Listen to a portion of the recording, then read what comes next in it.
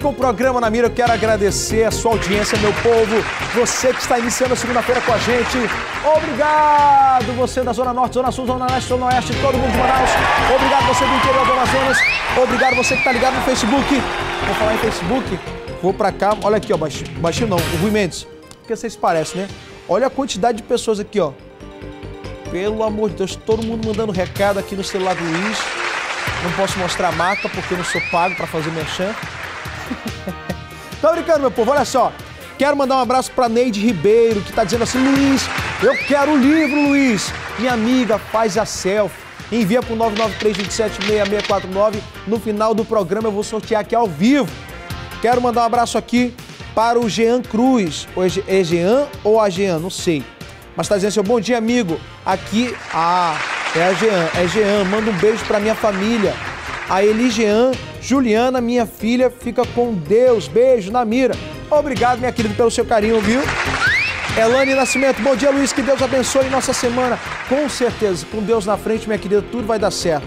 Carla Oliveira, eu quero esse livro. Carla, faz o mesmo que eu disse para Neide. Manda ali a selfie, tá? Para o nosso WhatsApp 993276649, que no final do programa a gente vai sortear. Tem também aqui o Flávio, que diz assim: Olá, bom dia a todos, já teve em tempo. Bom dia, Luiz. Bom dia para você, Flávio. Deus abençoe. Nora Costa, eu também quero esse livro, meu povo. Você quer esse livro? Então, peraí, vou pegar aqui o livro. Vamos fazer mais uma vez, meu direito. O pessoal tá querendo o livro. Vou pegar aqui o livro. Coloca aqui, Gesiel. Coloca aqui, Gesiel, na tela. O, o banner do Cabrini. Dia 4, Quarta-feira, o Cabrini vai estar aqui em Manaus lançando o livro dele, ó, no rastro da notícia. E você não pode ficar de fora desse lançamento que vai acontecer às 7 horas da noite lá na Livraria Saraiva do Manauara Shopping. Ele vai estar lá autografando todos os livros. É mais uma iniciativa da TV em Tempo que traz esse grande jornalista novamente a Manaus e você não pode perder. Ó, eu vou fazer, eu vou ficar parado aqui do lado do Cabrini para você pegar seu celular e fazer essa selfie agora. Eu tô dando chance para você, não era nem para eu estar tá falando mais disso. No final do programa a gente vai sortear o livro aqui ao vivo e você só vai poder participar né, desse sorteio se você tiver uma selfie em que apareça você aí do outro lado, eu e o Cabrini na tela. Vamos lá, 10 segundos. Um, dois, três e vai!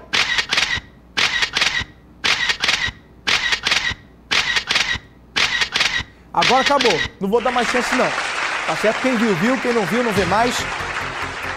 E vamos de informação, porque o programa é com informação.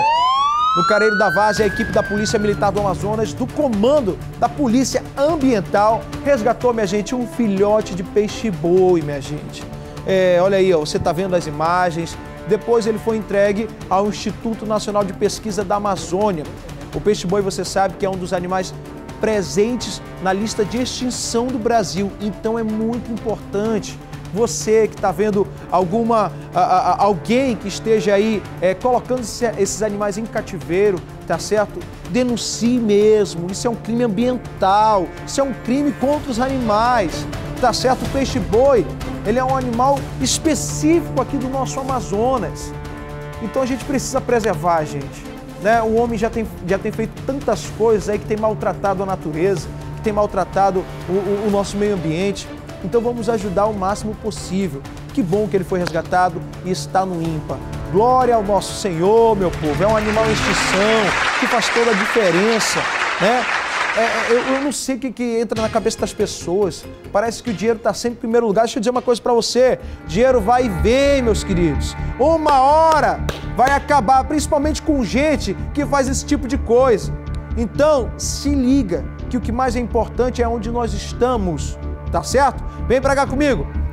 Um homem foi assassinado na zona leste de Manaus. O crime aconteceu após a cobrança de uma dívida. Quem traz os detalhes aí é a Mariana Rocha, na tela do Namiro. Exatamente. Esse crime foi lá no Zumbi, bairro da Zona Leste, aqui da capital. Segundo a polícia, os criminosos seguiram essa vítima até uma esquina de uma rua para cobrar uma dívida que estaria em aberto. Foi nesse momento que o homem, identificado como Jarclay Monteiro da Silva, de 30 anos de idade, foi morto com um tiro de arma de fogo na cabeça. Ele morreu na hora. A polícia investiga esse caso. Homens da delegacia especializada especializada em homicídios e sequestros estiveram lá nesse local do homicídio e vão utilizar imagens de câmeras de segurança para tentar identificar o assassino. Eu volto com você no estúdio. Obrigado, Mariana Rocha. Minha gente, é tanta desgraça que só Deus mesmo para nos abençoar e nos proteger. Olha a situação do camarada aí. Coloca aí na tela, enche a tela aí, Gisele. Mais um crime que chama a atenção aqui em Manaus. Pelo amor de Deus, gente. Que situação. Volta para cá, Gisele. Eu vou para cá no Rui Mendes para chamar mais uma informação para você. Um foragido do Compage foi preso contestado após fazer reféns em uma residência lá em Manacapuru. Quem conta os detalhes é o Marcelo Bezerra, na tela do Namira. Em uma raptação, os policiais do Getan, grupo tático em ações com motocicleta, prenderam James da Silva Nóbrega, de 22 anos. Ele estava cometendo um roubo na rua Coronel Madeira, exatamente. Ele fez várias vítimas de reféns dentro de uma residência. Depois de fazer todo o processo ali de, do crime, ele foi para o seu trabalho como nada tivesse acontecido. Então, uma das vítimas ligou para a polícia. Então, o Getão foi até ao trabalho do acusado né, que é o James, até a Rua B, também no bairro da Liberdade. Estava lá trabalhando na serraria como nada tivesse acontecido, só que a vítima reconheceu, né, e disse, é, foi esse aí que fez todo o, o crime aqui na nossa residência. Então foi, a, é, a polícia deu voz de prisão e foi trazido aqui para a delegacia e ele confessou. Dentro do, do estabelecimento onde ele trabalhava, estava a mochila da vítima, o celular e também o teçado onde ele praticou o crime. Nós fomos acionados pela vítima que tinha sido roubado pela manhã, é, onde a vítima falou que ele tinha sido roubado quando estava saindo de casa para fazer a prova do PSC é, e falou que tinha visto a vítima no seu local de trabalho. Nós deslocamos até o local onde a, o acusado trabalha. Chegando lá, ele não esboçou reação. Né, foi feita a revista, encontrado o celular, ele confessou o crime, né, entregou o celular, objeto do roubo, e ao ser perguntado, ele confessou também que é foragido do sistema prisional. Ele disse que já tem passagem por um succed, né, já é conhecido aí das autoridades policiais, né, ele tinha saído ainda no, no regime semiaberto, aproximadamente dois anos, e agora está sendo é, devolvido novamente ao sistema prisional.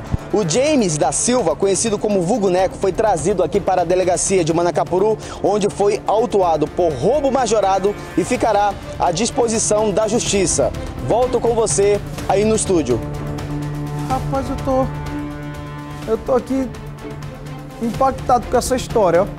Gesiel, coloca na tela aí, continua com as imagens aí na tela. O caboclo rouba, ameaça as pessoas e. Não. Não, deixa aqui, deixa só aqui na, na minha tela, Gisele. Traz aqui para mim. Isso. Aí disse: Não, vou continuar a trabalhar. Pô, de boa. Tá tranquilo. É, todo mundo rouba mesmo. Todo mundo faz pessoas reféns. Todo mundo ameaça. É comum todo mundo andar com teçado. Né? Até, até eu, mas eu tô com teçado aqui, ó. É comum, né? É comum todo mundo andar, andar com teçado. Pelo amor de Deus, meu. É como se fosse aqui, ó. Baixinho, vem cá. Baixinho tá aqui filmando, né? Tá aqui. Continua aqui no Rui, Gisele. Tá aqui filmando, de boa. Aí chega aqui o camarada, fica aí no, no baixinho. Fica aí no baixinho, Rui. Chega lá. Opa, senhor Anderson Tavares, tudo bem? O senhor tá preso. O cara tá, tá aqui, ó. Que bom. Vamos lá, o senhor tá preso, pode. É como se fosse desse jeito. O caboclo vem trabalhar normal. Tu já pensou? Como diz o meu diretor Ivan Nascimento, tu já pensasse? O caboclo tá ali faz o que não presta lá fora e vem trabalhar normalmente. Aí a polícia chega na empresa e leva o caboclo. Aí o empresário fica pensando que eu estou colocando gente assim dentro do meu, do meu, do meu estabelecimento. Minha gente. E o caboclo é, é, é ex-detento, não é isso? É ex-detento, né? Então o camarada teve a chance de melhorar de vida, recebeu uma oportunidade para voltar a trabalhar e não quer prestar mesmo. Pelo amor de Deus, gente. Deixa eu pegar, continua aí, continue aí. Abre aí nesse camarada aí. Meu Deus do céu, fico pensando. Aí Deus quer ajudar o caboclo, o caboclo não quer se ajudar, prejudica ele mesmo, prejudica outras pessoas, né? E prejudica até aquelas pessoas que queriam ajudá-lo. Meu Deus do céu, vem pra cá comigo, olha só. Tem aqui comentários, quero mandar um abraço para Lia Leão, nossa telespectadora, que é nossa super fã, tá certo? Que tá sempre conosco. Olha o Alexandre Barros comentando sobre o, o caso lá da mãe. Tocou na mãe, tem que morrer mesmo. Rapaz, caboclo é bravo, hein? Olha aí a Malu dizendo, tô ligadinha. Nós também estamos ligadinhos em você, Malu Santos. Um grande abraço. Tiago Nascimento, no sudeste do Pará é assim. Se rouba, morre. Eita, rapaz. A Carla Oliveira. Ah, o pessoal tá querendo ver aqui, né? Coloca aqui, ó. Olha só os comentários que vão chegando aqui, ó. Foca aqui, baixinho. Pra você ter, ó, quantidade de pessoas aqui, ó. Tá certo? Todo mundo mandando aqui pra gente, porque tem gente que inventa, baixinho. Tu acredita que tem gente bem assim, ah, não, ele tá inventando, isso é mentira, tá falando com ninguém não. Quero mandar aqui ó, também um abraço para Carla Oliveira que diz: não esquece de mandar um alô pro pessoal do setor de identificação da Prefeitura Municipal de Novo Aripuanã. Um grande abraço pro povo de Novo Aripuanã. Suzy Maia, bom dia, Luiz. Bom dia, minha querida. Herilene Botelho, bom dia, um ótimo dia de trabalho para você também, minha querida. Daqui a pouco, depois do intervalo, a gente volta a mandar um abraço pro pessoal, tá bom, aqui no Facebook.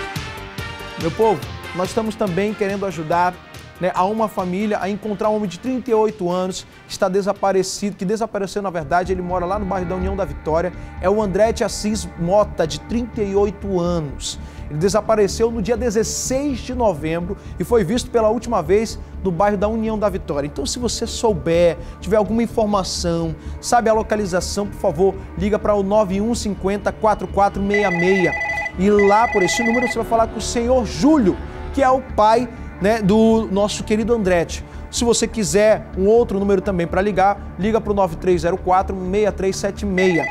Ou você fala com a Amanda também no 9185 4022. Minha gente, para você não ter dúvidas, nós temos mais um outro número, que é o 9152 9454. Vem pra cá comigo, baixinho, minha conversa com o povo que tá do outro lado aí. Vem pra cá, joga pra cá. Foca aqui, foca aqui, foca aqui, foca aqui. No final do programa, nós vamos ter o sorteio, tá certo? Se quiser mandar as fotos, já tirou? Então envia pro 993276649. Vai enviando, reenviando, enviando, reenviando, enviando, reenviando, enviando, reenviando. Pra você, claro, ter mais chance de ganhar esse livro, tá bom? Daqui a pouco eu volto. É jogo rápido. Continua aqui comigo. Troca não, tá certo? Já já eu volto.